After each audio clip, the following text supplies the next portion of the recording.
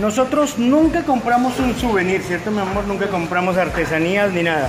Pero esta vez estamos en El Salvador y nos, y nos toca llevarnos, ¿qué? Las llantas. Las llantas delanteras de la camioneta que ya están bastante lisas. Así que aquí paramos, estamos en San Salvador. A las afueras de la ciudad, así que paramos a comprarnos dos llantas.